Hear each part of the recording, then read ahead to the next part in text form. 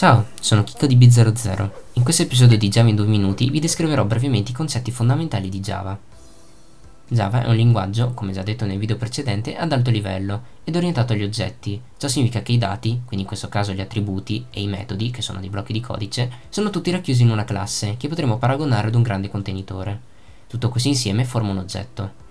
In ogni caso, in un programma in Java possono esserci più classi, ma solo una deve essere chiamata main, in quanto essa contiene le istruzioni per l'avvio dell'applicazione. Java potrebbe essere considerato un linguaggio interpretato, ciò significa che le istruzioni del programma vengono lette e trasformate in linguaggio macchina solamente durante l'esecuzione del programma, anche se in realtà il codice viene compilato e quindi trasformato in bytecode, che è una sorta di linguaggio macchina, a parte per il fatto che le istruzioni non vengono eseguite direttamente dal processore, ma dalla JVM, Java Virtual Machine. Per la creazione di questo bytecode, invece, è necessaria la JDK, Java Development Kit, che contiene al suo interno anche i vari strumenti per la compilazione e il debug dell'applicazione. Debug è un termine usato per definire l'attività di trovare errori, appunto bug, nel codice sorgente per poi sistemarli.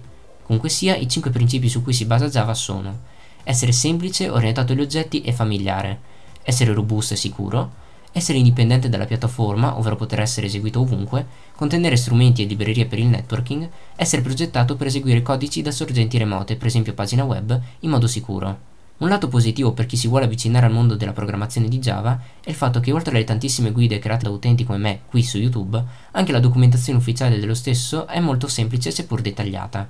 Inoltre sono stati rilasciati anche alcuni libri ufficiali riguardanti il linguaggio. Se il video ti ha aiutato a capire l'argomento, lascia un mi piace, altrimenti lascia un non mi piace. In ogni caso puoi sempre commentare per aiutarmi a migliorare i video futuri.